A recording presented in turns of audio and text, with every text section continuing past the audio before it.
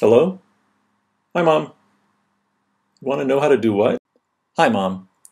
The other day, I learned some cool tricks on how you can move pages from one PDF to another PDF. So let me show you actually two different ways of doing the same thing, and you can decide which is your favorite.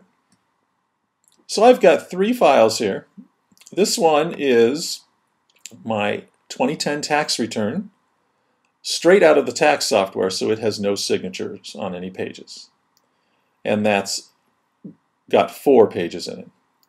Here, I printed out page two and signed it and scanned it back in, so that's just a single page PDF.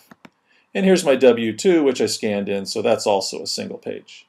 And what I want to do is I want to replace page two in here with this signed version, and I want to tack on my W-2 at the end. In this way, when I need to submit my tax return for loans or whatever, um, I've got a nice package I can send in. And just for my purposes, I've got, got everything I need for that year in one file. Okay, so the first way is I'll just double click on these to open them up.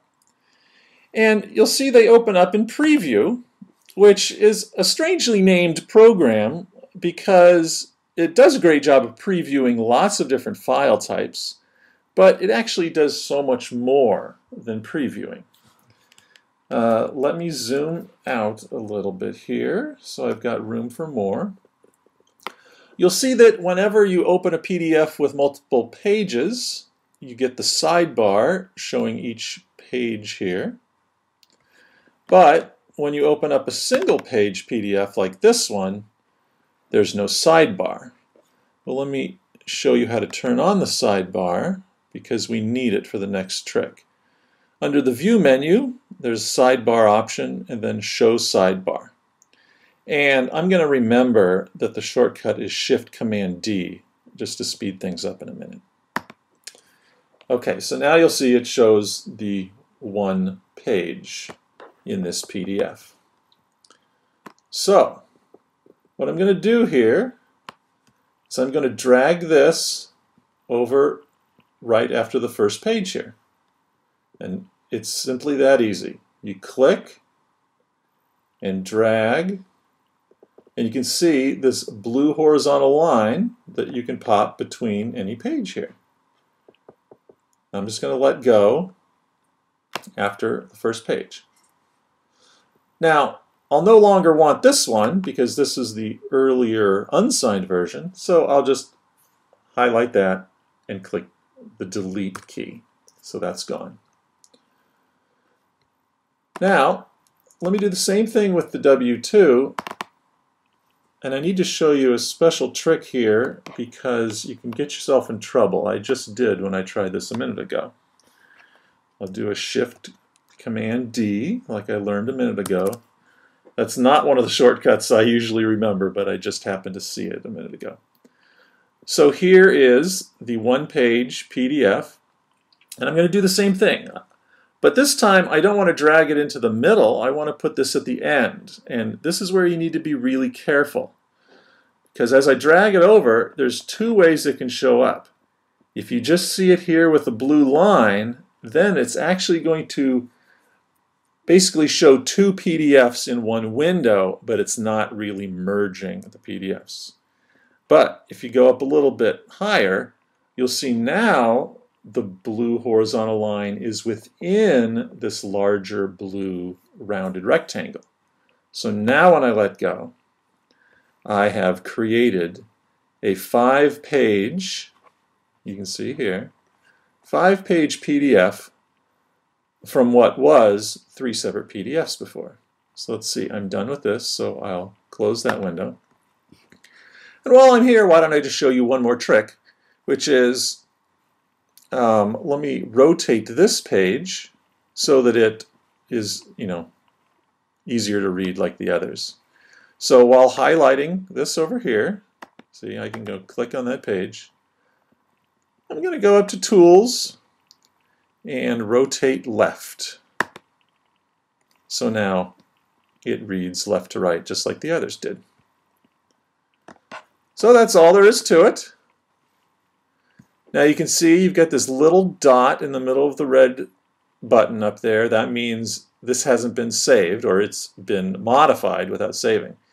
I don't want to wipe out my previous 2010 tax return PDF file, so I'm going to save as and give it a new name here. So I'll add package at the end there. So 2010 tax return package PDF and then save that. And you can see here, it showed up over here. Now, I recently learned there's an even faster way to do this. Let me go select those three again, and I'm going to do this by clicking on the first one and then command clicking on the next two. And once those three are highlighted, I'm going to double click on any one of them, it doesn't matter. And that will now, again, use the preview application but you can see here it put each document in the sidebar. So here's the signed second page, here's the four pager, and here's the W2. So now watch what I'm going to do. If you hover over a multi-pager, you can see for one, it makes it look like a, like a little binder, and it gives you this arrow. If you click on this arrow, it will expand it into all the pages within there. Once you've done that, you can do the same dragging, except now the clicking and dragging is all within the same sidebar. So let me take this second page, put it right there. Let me click on the old second page and delete it. And now this W2 looks like it's in the right order, but when you drag it, you, you'll see that you need to move it inside that blue and gray background rectangle. Now, this is the PDF we've created. You can ignore this top and bottom thing, which are the original one-pagers. But here is the six or five page that I've created. So now once again, you can see that it needs to be saved. I'll go up and do a save as and uh, I'll just name it package number two. And you can see I've created another tax return package too. It's exactly the same as the, the one I created in the first part of the video, just a uh, slightly different method. Whichever works best for you is uh, just great. So hopefully that helps. Um, you can use this for all sorts of different things. It doesn't have to be pages that you've scanned in. It can be web pages that you've printed to a PDF instead of printing to paper. Um, these could don't have to all be PDFs either. Some of them could be images that you could drag into a PDF. So, hope that helps.